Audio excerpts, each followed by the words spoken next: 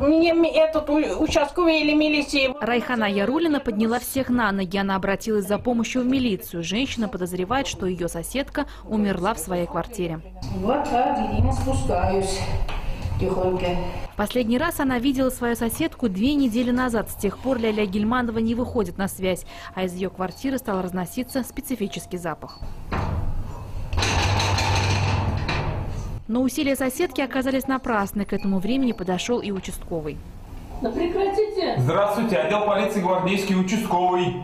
Уговоры сотрудника полиции оказались куда более действенными. Спустя 15 минут за дверью, наконец, послышались шаги.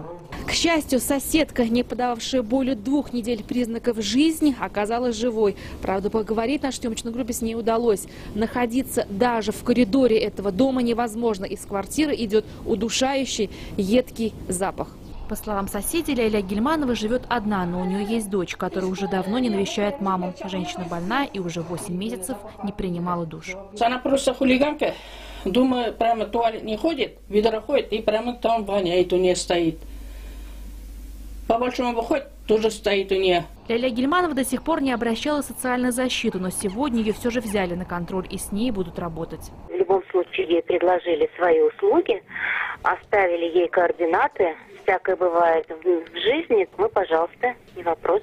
Благо у этой истории счастливый конец, и вопреки прогнозам соседей, женщина оказалась жива. Между тем, Мумпритуал нам сегодня заявили, что одиноких стариков в Казани много.